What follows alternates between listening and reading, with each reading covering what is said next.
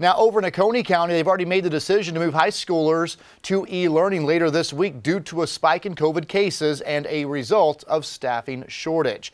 All high school students in the district will be moving online from Wednesday of this week. Again, it's Wednesday to Friday. Of course, they have Martin Luther King Jr. Day off on Monday, so they'll be back in the classroom on Tuesday, January 18th.